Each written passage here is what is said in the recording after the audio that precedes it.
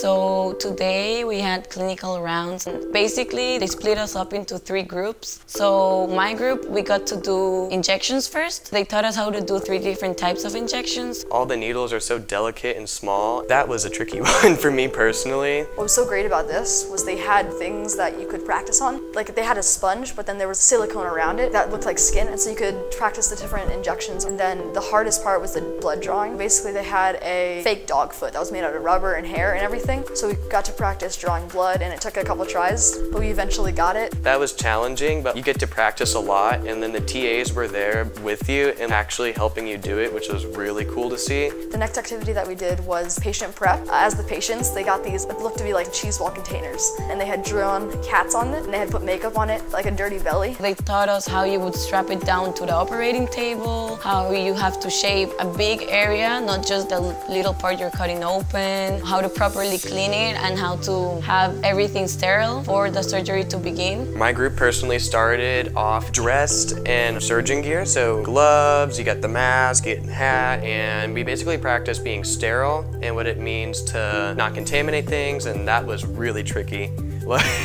There's a lot that goes into it. Everything from tying up your hair, wearing a hairnet, how you're supposed to wash your hands. You learn how big of a deal it is to be sterile. It's not easy. There's so many things I didn't know. Before this, I had a lot of theoretical imaginations about what it would like to be a veterinarian and what it would be like to kind of practice being one, but I didn't really have any hands-on experience. With this, I was able to put hands-on activities and what it would actually be like to stories that I've heard, and that's something different that you can't really get in a lot of places. Especially in the medical profession, it's really important to know that you want to go into it. For me personally, I've wanted to be a vet, so now I get to come here, test the water, see how I feel about it, and I know I want to go into the vet profession.